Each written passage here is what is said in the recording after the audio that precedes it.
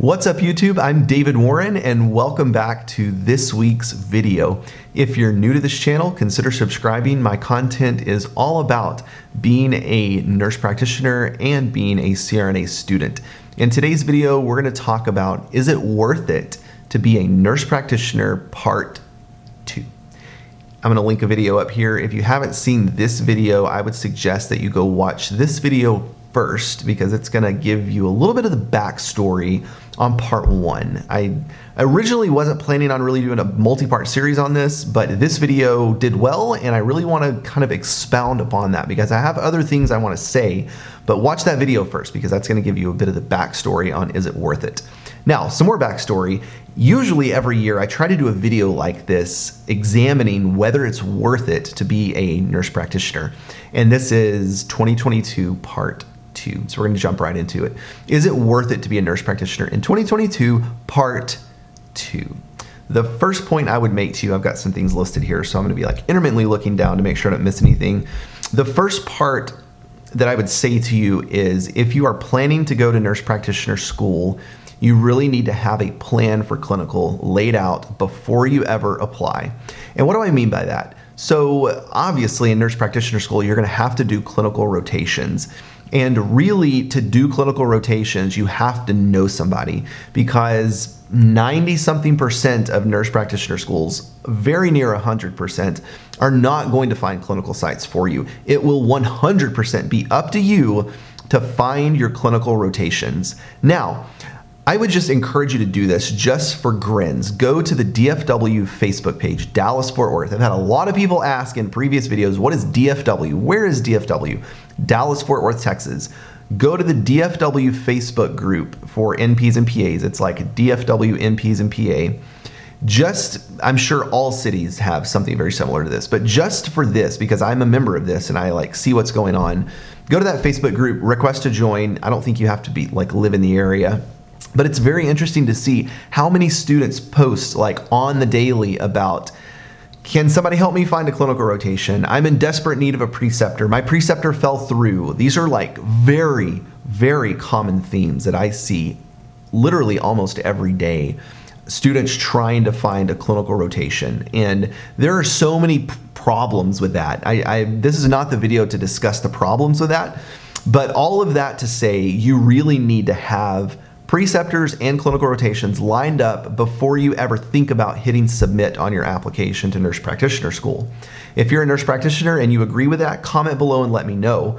I'm very interested to hear your take on it because in my school, when I went to nurse practitioner school, some of my rotations were set up for me. I also had the option of finding my own. Granted, I went to school in 2014, so this was like almost 10 years ago and the clinical rotations weren't as hard to find but nowadays it's very hard to find a preceptor and a lot of the times students are left to find that for themselves and so it's really all about who you know and I, I, think it's ridiculous that students have to go set up their own rotations. I think it's crazy. I think it's lazy on the school's part. That's for another video. I'm really not going to try not to get off on a soapbox here. But make sure you have your clinical rotations set up. What, what do I mean by that? Have somebody in mind, like call up whoever you know. And if you don't know anybody, you know, if you don't know anybody to do clinical rotations with, you should strongly consider probably not going to nurse practitioner school right now because you're going to struggle finding clinical rotations unless you go to a school that sets it up for you. If you go to a school that sets it up for you, it's not a big deal.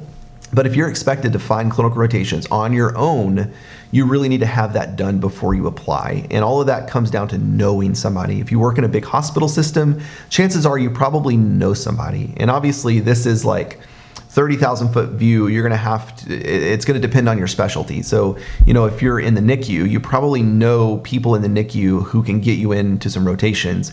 If you are doing a family nurse practitioner uh, program and you need to get in family medicine clinicals, from me, from like my experience, I didn't really know family medicine providers when I worked in the ER. It's just like not somebody I interacted with.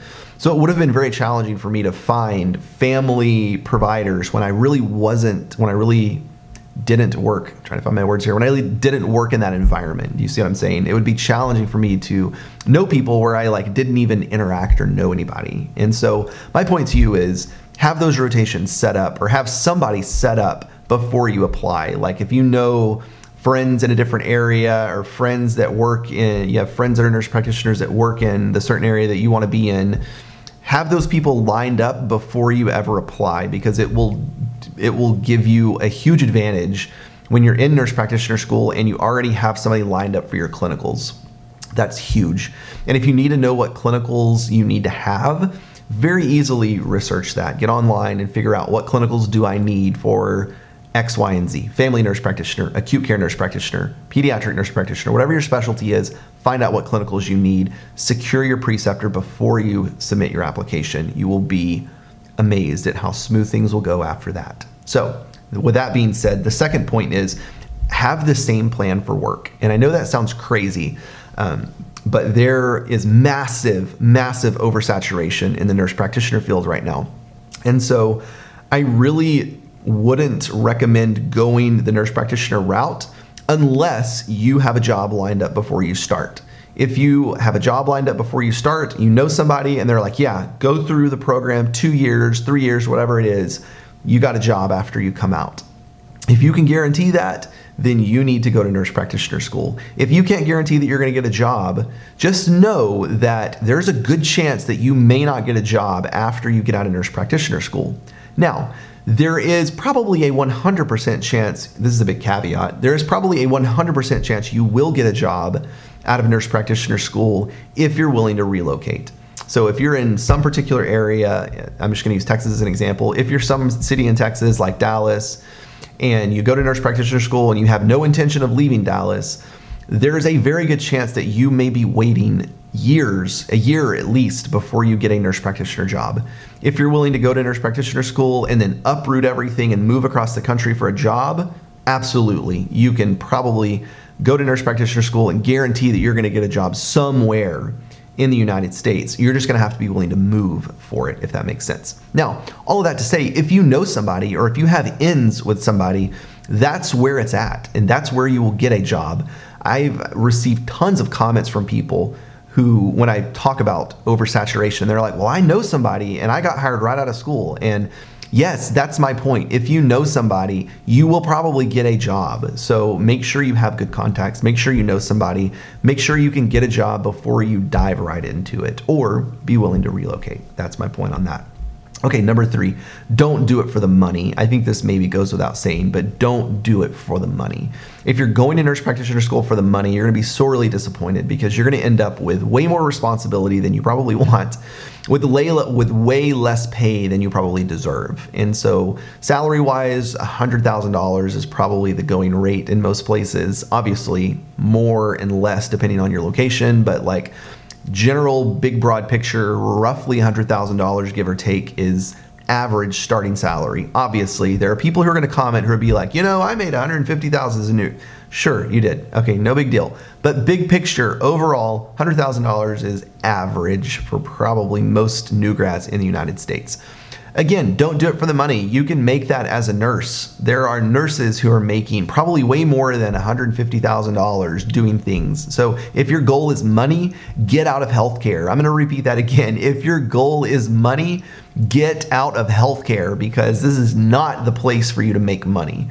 All right. If you enjoy healthcare and you enjoy helping people and you enjoy using your brain, then yes, this is probably the career for you. But don't do it for the money. All right. I'm just going to leave that there. The money is nice, but for $100,000, I could find a whole lot of other things to do for the money. All right. Um, the next point I would make, number four, consider other fields. And the reason I say this is because there are a lot of people who message me, email me, Instagram me, and ask this very question Is it worth it to be a nurse practitioner? Or what's your take on being a nurse practitioner? And I find that quite funny because I like I feel like I'm very open with my opinions about is it worth it to be a nurse practitioner. Like I've made a lot of videos on this. My opinion's out there. Um, you've probably seen some of the other videos that say I'm quitting my career as a nurse practitioner. It wasn't a lie. I, I did quit to go back to CRNA school.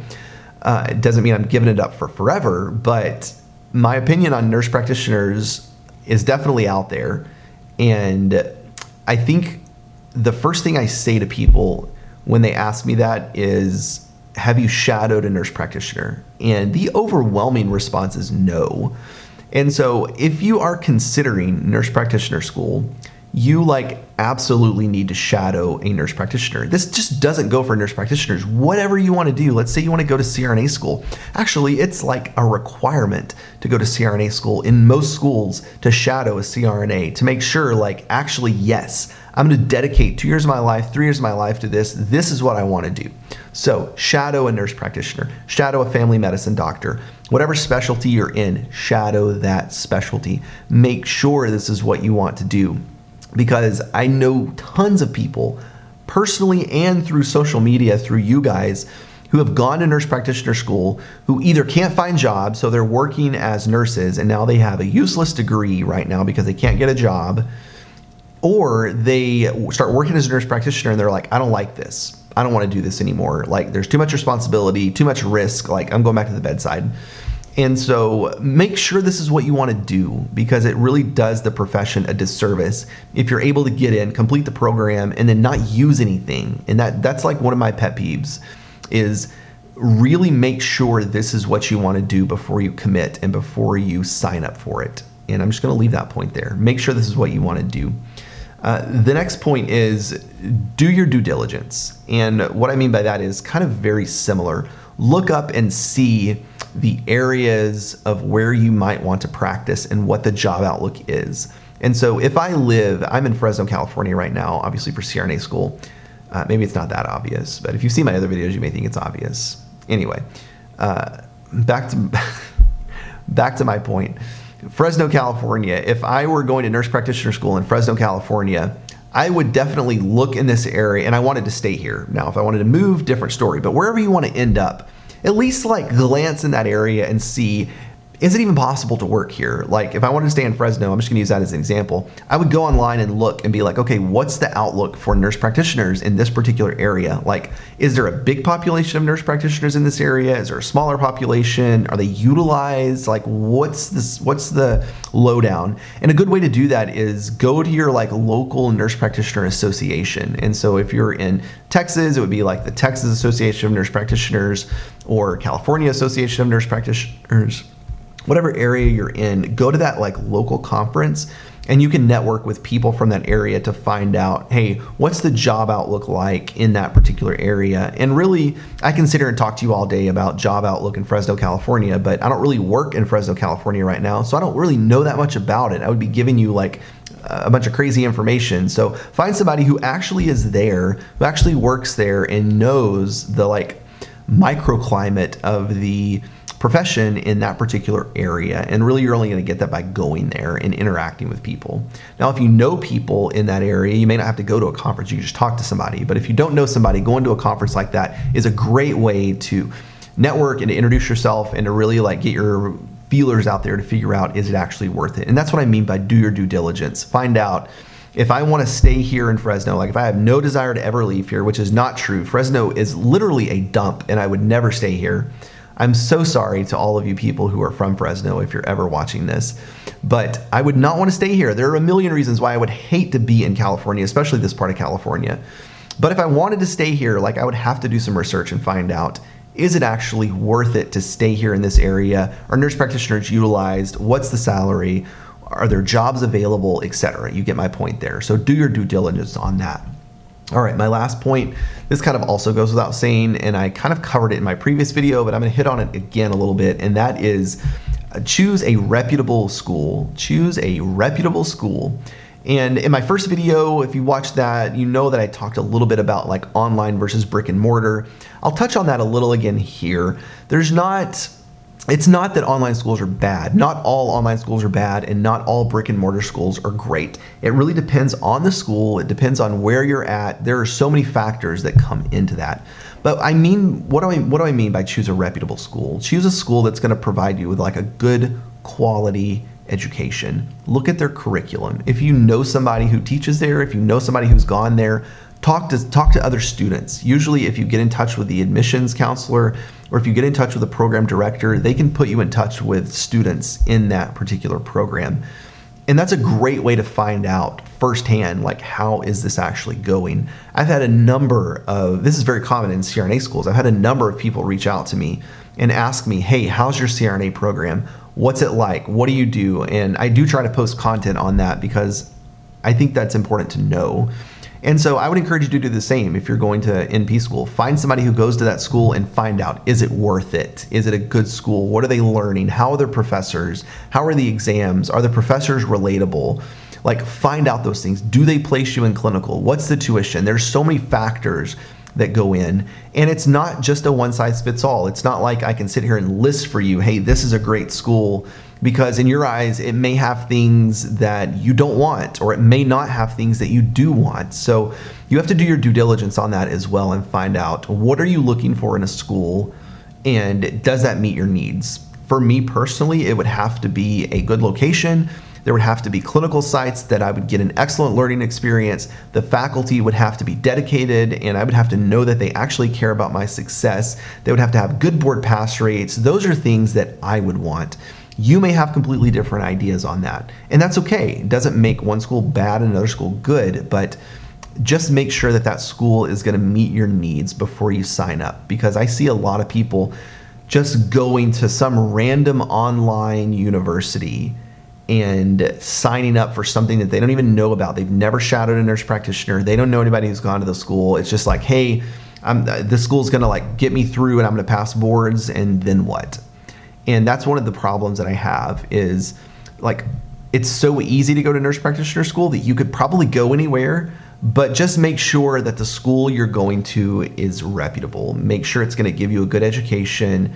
They're gonna come out knowing what you need to know and you're gonna be able to pass boards and that you're going to be able to find a job. That's really what it comes down to is being able to find a job. And if you set yourself up for that from the start, you shouldn't have any problems doing it after you finish. So that's what I wanted to tell you today about is it worth it to be a nurse practitioner?